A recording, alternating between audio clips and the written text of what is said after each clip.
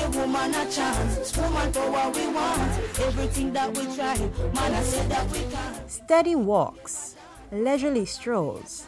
In between the steps, women building each other. It's in observation of International Women's Day, so it either takes place on or near International Women's Day, which is, which is March 8th, as we know. So this year, it's globally, it's taking place on March 5. And so in 57 countries across the world, women are walking, supporting each other in a mentoring relationship.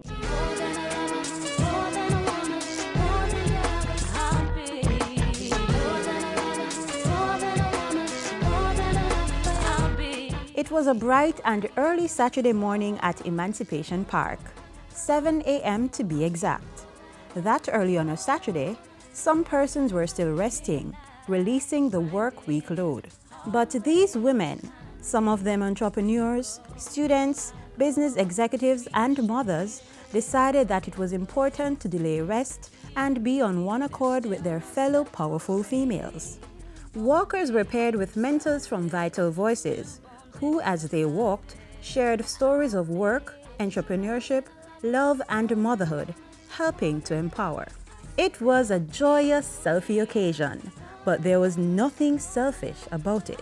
I have been on my own as an independent um, female entrepreneur for a year.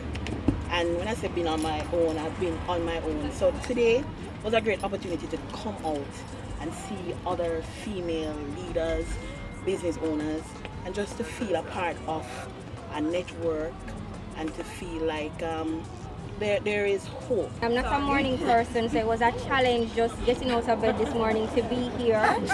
but it was a wonderful experience. One of the things that we spoke about was confidence and speaking up because I usually don't speak up, but um, speaking up now.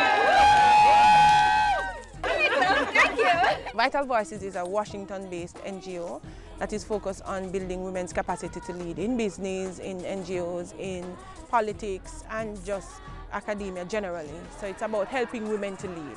Rather than have people speak for us, we are saying we can speak for us. We can speak for ourselves. So rather than say, hey, hey, we will have good representatives who can speak on your behalf, we are saying choose a woman and have a woman present a woman's perspective. And women not only bring a woman's perspective, women speak for their children, so they're speaking up for their girl children, their boy children, they're speaking for the elderly, elderly um, male relative, female relative. So women bring a lot of perspectives to the table.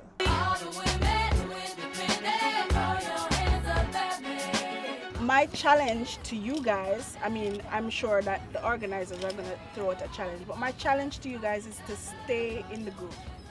Stay in the group.